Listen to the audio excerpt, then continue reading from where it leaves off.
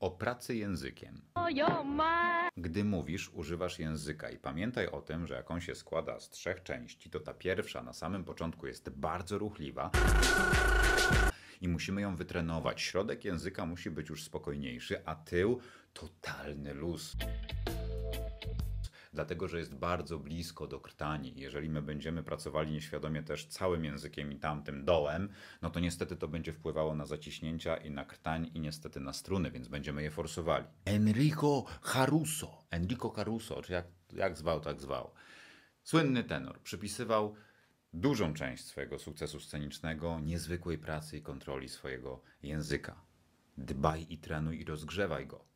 Ru, ru, ru, ru, ru, ro, ro, ro, ro, ro, re, re, re, re, re, ri, ri, ri, ri, ri.